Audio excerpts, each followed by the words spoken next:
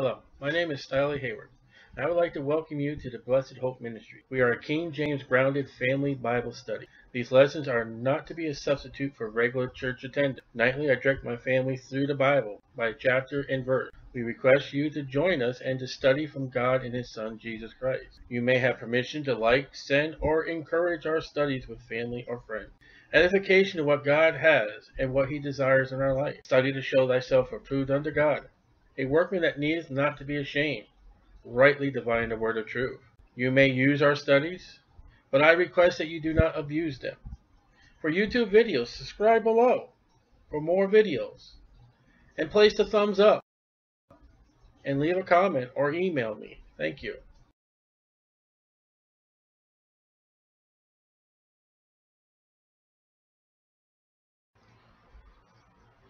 Genesis chapter 22. And it came to pass after these things, 21, that God did tempt Abraham. And James 1.13, Hebrews 11.13, does he wanted to see where the love of Abraham was. Did it lie in Isaac or did it lie in God? And there are probably times that maybe God in Christian's life, the guy will say, who's more important? What's more important? Abraham and said to him, Abraham, he said, Behold, here I am. Now you're not going to read Sarah in this chapter. What happens between this chapter is between the Father and the Son. There is no, you know, woman goddess. It's not Mary, the, the Queen of Heaven. This is between a man and his son. Abraham becomes a type of God. Isaac becomes a type of Jesus Christ.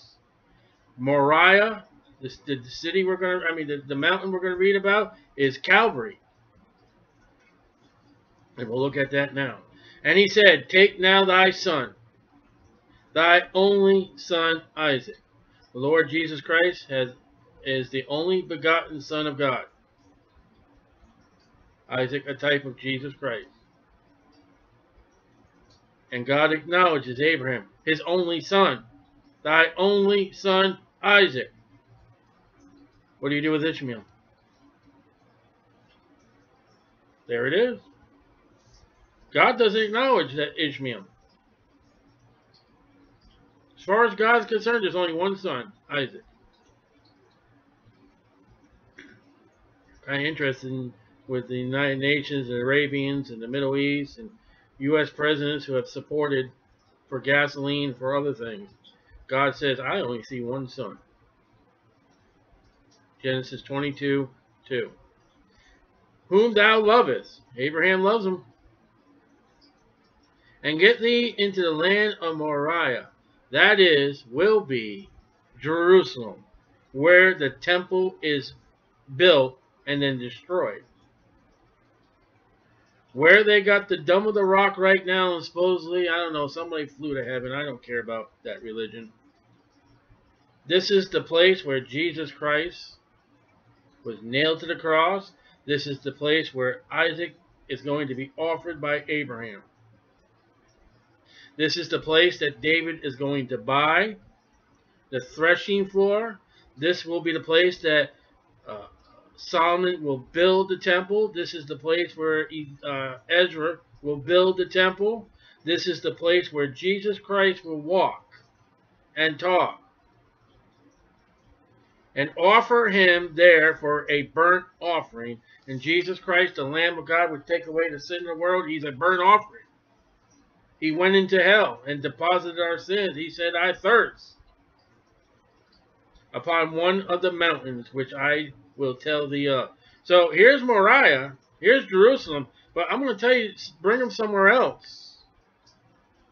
From Moriah, and the Bible states that Jesus Christ died outside the gates. This is prophecy. They brought him out of the city and crucified him. Genesis 22, 2. Abraham rose up early in the morning.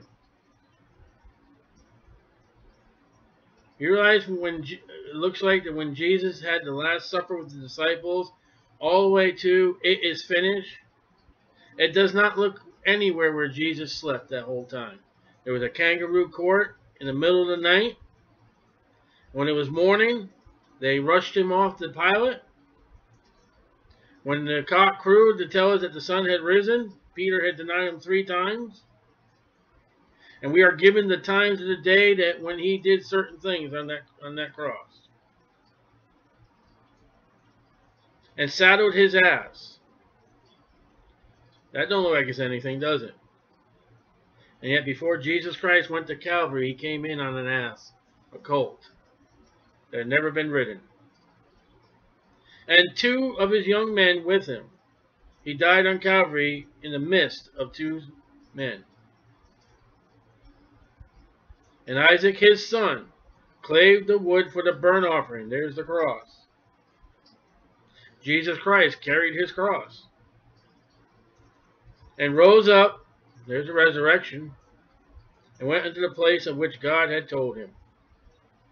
Then the third day, resurrection, Abraham lifted up his eyes and saw the place afar off. Abraham said unto his young men, Now a type does not go all the way 100%. There are excellent types in the Bible, but they're not exact. Here he says, to the young men, Abide here with the ass.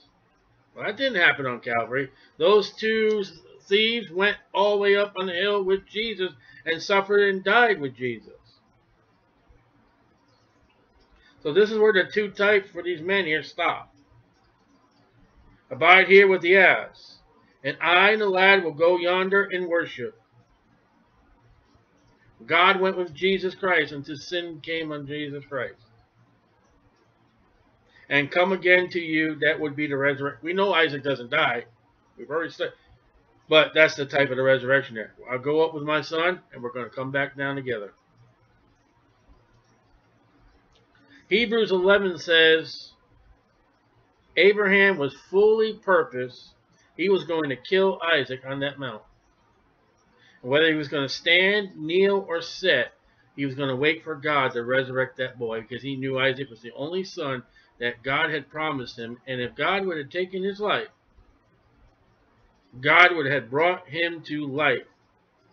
Come again to you. That is the faith of Abraham. He's going to kill that boy. God already said in verse 2, he's a burnt offering. You don't bring a burnt boy back. When he says, come again to you, that boy is going to be alive and well. And Abraham's full purpose right now is he's going to slay that boy. There's resurrection right there. Abraham took the wood of the burnt offering and laid it upon Isaac his son as Jesus Christ carried his cross. He took the fire in his hand and a knife. That wasn't at the cross. And they went both of them together. And Isaac spake unto Abraham his father, and said, My father? He said, Here am I, my son. And he said, Behold the fire and the wood. But where is the lamb for a burnt offering? Isaac knew something. Abel knew something. Noah knew something. It's blood. Isaac knows enough that, Father, we're supposed to have a lamb here, and there is no lamb. Where is it? And we are before the law. We are before Exodus. There is no Passover. And yet Isaac is telling us that in order for the Old Testament, before the law, in order to please God, we need a lamb. Where did he get that from? He got that from his father, which got it from God. And we see in the New Testament, Behold the Lamb of God which take away the sin of the world. And Abraham said, My son, God will provide himself. God himself. A lamb. Now, what do you think the Jehovah Witnesses do with that verse? Let's look at it again. My son, God capital G, capital O, capital D. We know that God is Almighty God. We know that God is Jehovah that Abraham follows. There's no other God in Abraham's life but God of the Bible. Okay? Will provide himself. That goes back to God. A lamb. That night, when, when God speaks to Moses, said, listen, this is the, the rules and regulations for the Passover lamb. The lamb, a lamb, your lamb. When John the Baptist sets forth, he says, Behold, the Lamb of God, which take away the sin of the world. Isaac saying, Where's that lamb for our sins? And Abraham says, It's God. He'll provide himself. Scripture with scripture, Acts 20, 28 says, God's blood purchased the church. God is Jesus Christ, and Jesus Christ is the Lamb scripture with scripture. There it is. Now, you don't believe that? You teach anything else, you're defying this. And I uh, guarantee modern Bibles change that. It's not even worth looking up to get even. I wouldn't even tell you what the modern Bibles say. Because it's foolish. And then a lamb, Exodus 12, verse 3. Notice 12. It's a fire altar. God is going to, to burn that lamb in hell. You know, some people don't even believe Jesus Christ went into hell for a burnt offering.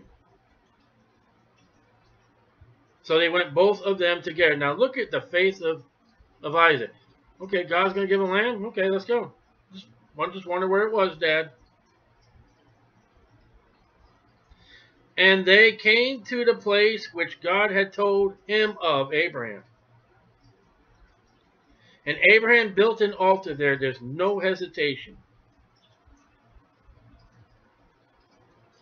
And Abraham built an altar there and laid the wood in order. There's a specific order that God has. And bound Isaac his son. Now we just read that Abraham is 100 years old. Now, we don't know what the ages they are here. But you tell me that a 100-year-old man has, was able to grab hold a young child and wrestle him to be burnt and given, I don't think so. What you read here is that Isaac, like Jesus Christ, he gave in. Okay, Father, here I am. You just said God's going to provide himself a lamb. There's no lamb here. So I will give myself. Do you see the faith of Abraham and do you see the faith that Abraham taught his son Isaac in God? This is remarkable.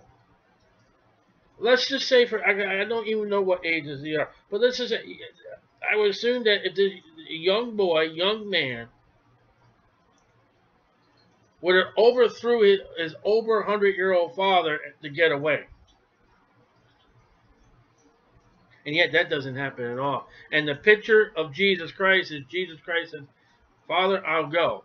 And in that garden three times, nevertheless, thy will will be done. Now, he didn't want to take that sin. It's not that Jesus Christ didn't want to die. He didn't want to be that personification of sin. He realized how wicked sin was. So Isaac has no fear, like Jesus had no fear of dying. Came to the place where God had told him of. Abraham built an altar there and laid the wood in order. You gotta have your wood in order and bound Isaac his son, and laid him on the altar upon the wood. Isaac, the type of Christ, is obedient unto death. Abraham's the type of father that spared not his own son. Abraham fetched forth his hand and took the knife to slay his son. Hebrews 11, 19. I'm going to kill this boy. And I'm going to sit back, stand back, kneel back, whatever I'm going to back. I don't know.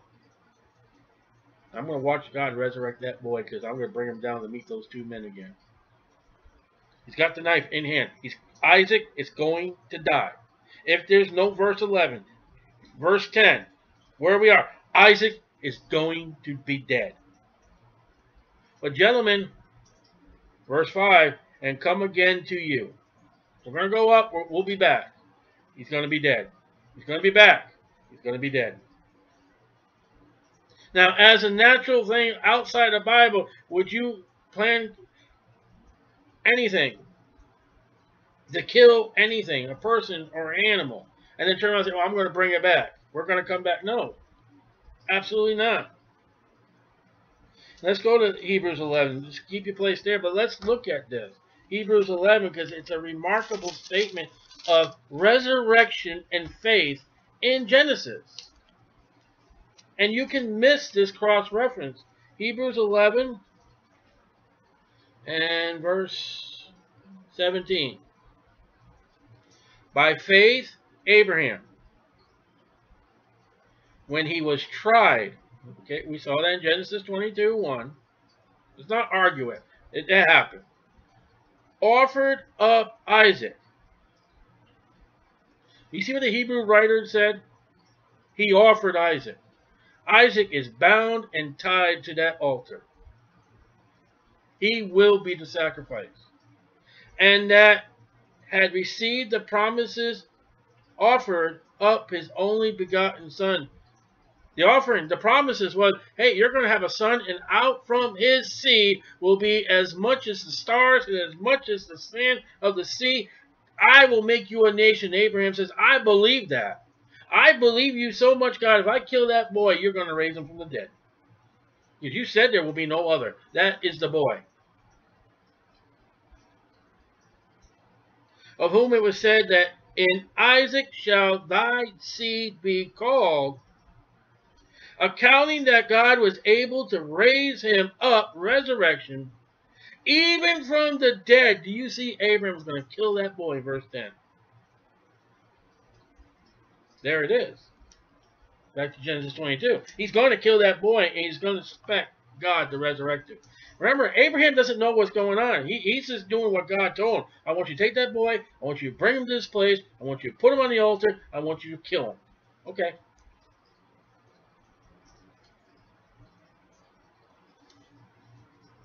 And we've gone wrong with this because you're going to see later on in the book of Exodus, uh, in the book in the Old Testament, they're going to kill and slay their boys and girls to another God, not God. And God said, I never required you to do that. I did it to Abraham. I did it to no nowhere else. Does God tell anybody to kill their children or their wife or their whoever? Except for a, a nation, the country of Israel, to go in there and those that be sinners, but individuals, no. Your child, no. And Abraham stretched forth his hand and took the knife to slay his son. Period. And the angel of the Lord, Jesus Christ. Look at what show up in this thing right here. Jesus Christ. According to the date here, estimated 1903 years, Jesus Christ will be on that cross thereabouts.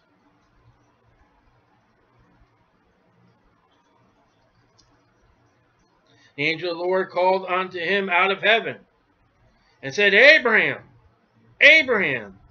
And he said, Here am I. Isn't it great that Abraham listens to God and doesn't fight God? Wait a minute, Lord, let me finish what I'm doing. And many of us tell God, wait a minute, Lord, let me finish what I'm doing.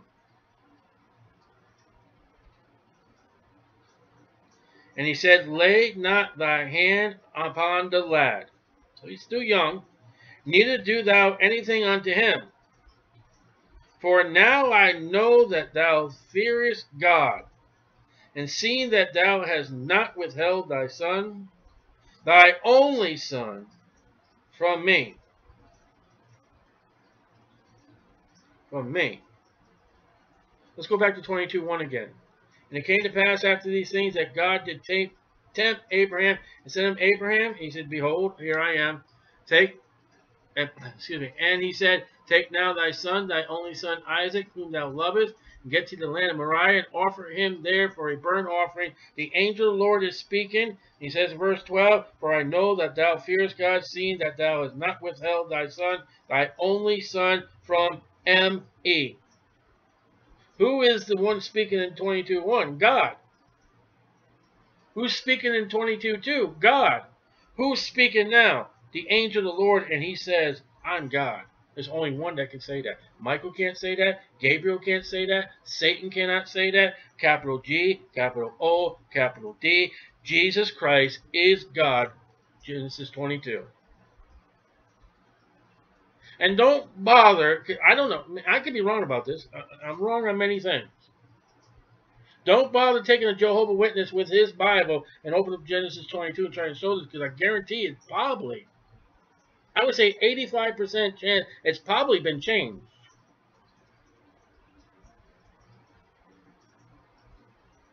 I know they take God and they change it for Jehovah. But Jesus means Jehovah saves, but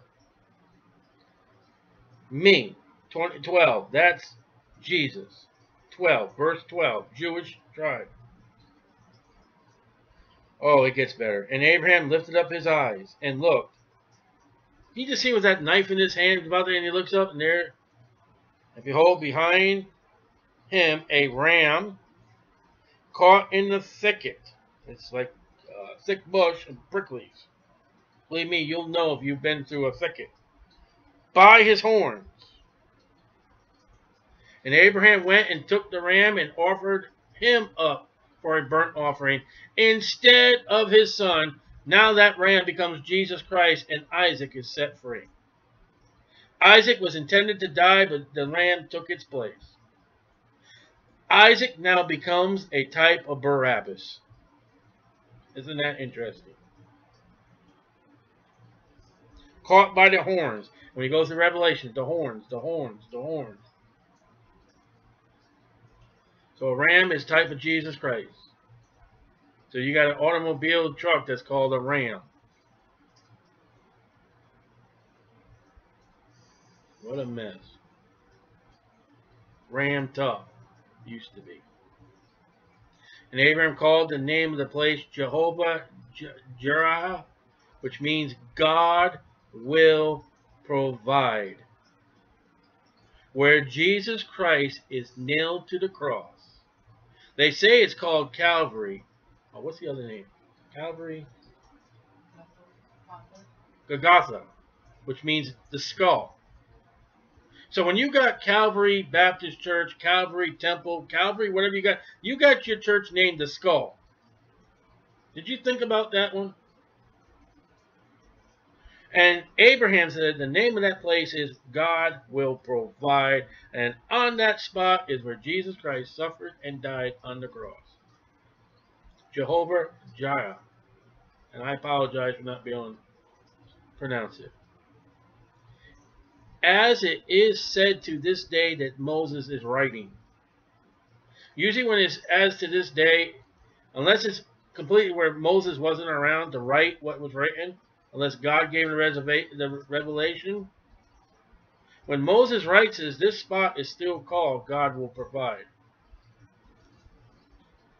In the mount of the Lord it shall be seen.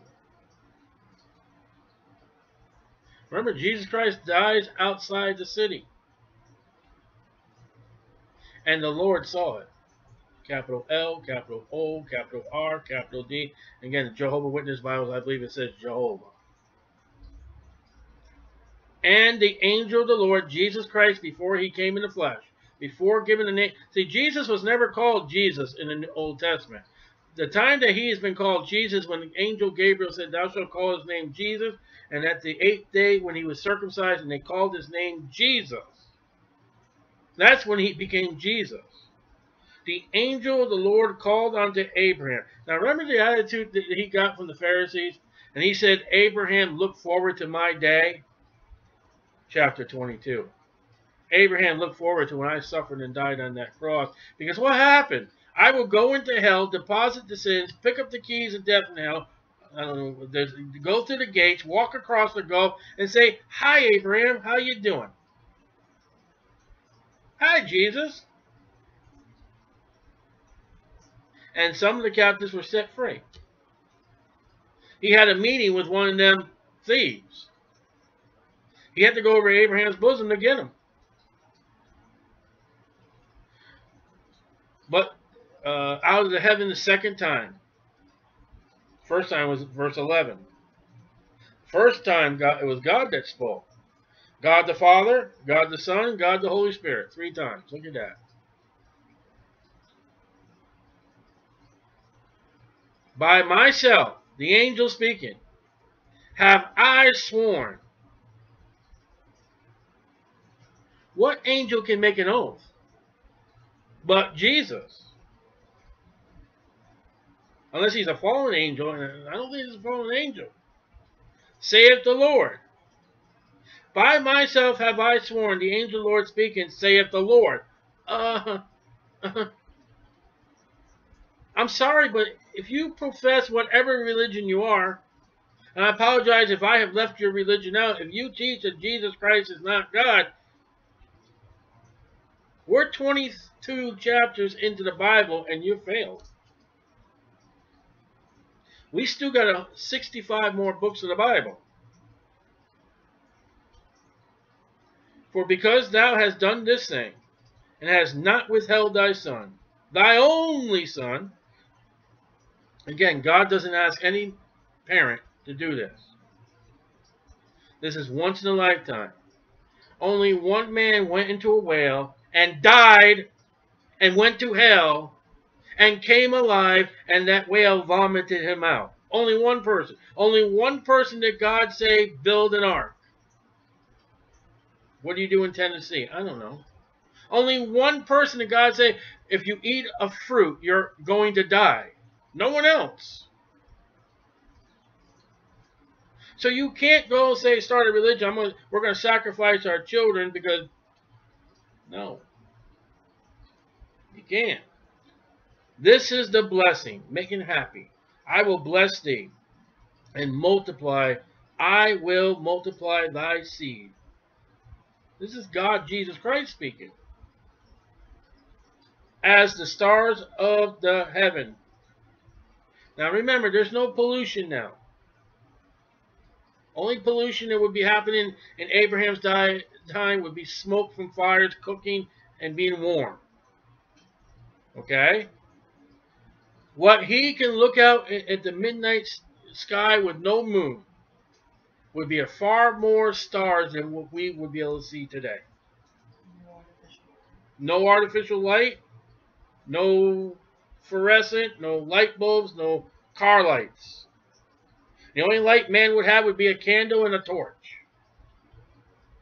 He would see those stars and be remarkable. I can imagine what the Big Dipper and the Little Dipper and the other celestial uh, signs they have. I can imagine what they look like. Orion's belt. Be bright. All those stars, he said, you know what? Going to be more children for you than there is. And who knows how many Jews there have been. This is 1872 BC. You realize Isaac is going to have 12 sons of his own and one daughter. And then from there, population growth. What? Jacob. Jacob. Excuse me, Jacob. Isaac's going to have Jacob, and then Jacob's going to have 12 sons, and then boom. Have you ever read Numbers? It's a lot of people. Jacob's going to have 12 boys. And as the sand which is upon the seashore. Can you even think about I want to make a trip to the west side of Florida or something. They say that that sand looks like snow over there. A grain, have you ever seen sand under a microscope? It's beautiful. You know where they are right now? They are in a desert climate. You know what they see north, east, west, and south? Sand. And your children are going to be as much as that. And thy seed shall possess the gates of his enemies. And that will happen in Joshua. Problem is, when you get to Ishmael, Ishmael is going to be dwelling amongst Israel. And in thy seed shall all the nations of the earth be blessed. And how does that happen? Hebrews 6, 13 to 20. That happens through the Lord Jesus Christ who was born of Abraham. There are nations that will believe on Jesus Christ corporately. They will be called the sheep nations. This nation once was, was for God in the Bible and Jesus. No longer. Once was. And in thy seed shall all the nations of the earth be blessed, happy, because thou hast obeyed my voice. Bring your son, hold it, stop, don't kill him. Hey, so Abraham returned unto his young men, and they rose up and went together to Beersheba. That's where we left Hagar. That's where he bought that land with the pack with the animals from Abimelech. And Abraham dwelt at Beersheba. It's 44 miles from Jerusalem to Beersheba.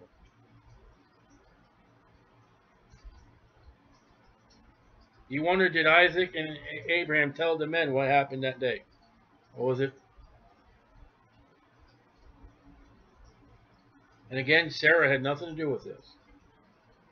You can't throw Mary into this. I'm not. Mary is a wonderful woman. She, there's no wife here. There's no mother. And it came to pass after these things that it was told Abraham, saying, Now we just had the beautiful, great story of Calvary. Now we have a paragraph mark. That it was told Abraham, saying, Behold, Milcah, she had also borne children unto thy brother Nahor. Abraham and Nahor are brothers. He's got nephews, nephews. Huz, his firstborn. Buz his brother. Carmel, the father of Amram. And Chista, Chista, and Hazo, and Pildash, and Jelah, and Bethuel. You say, what, what's going on here? What is this all about? Look. And Bethuel begat Rebekah. That is going to be Isaac's wife. And Isaac and Rebekah are in the line of Jesus Christ. Had Abraham killed Isaac, and nothing would have happened thereof, Rebekah would never have a husband, and there would be no line of Jesus Christ. So, looks like in Genesis 22, Satan intervened. And some preachers say, well, Satan would tell God, say, listen, God, I got a whole bunch of people up there will worship, and they will give their children's lives for me. That's what some say. Maybe, maybe not. And God would say, well, you know what? I've got one man like that, like Job.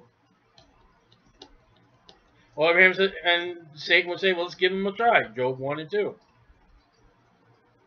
And God would say, okay, go ahead. Let's do it. You realize Genesis 22, of all the population in the world, only one man loves God enough? When you are a born again, Bible believing Christian that does what the Bible, you are the minority. And Bethuel begat Rebekah, that would be Isaac's wife later, and eight Milcah did bear to Nahor, Abraham's brother. And his concubine, whose name was Reumah.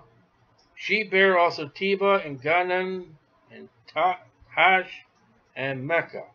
And we close out the gospel with, with the genealogy and partial genealogy as we reach out to Jesus Christ. It's remarkable.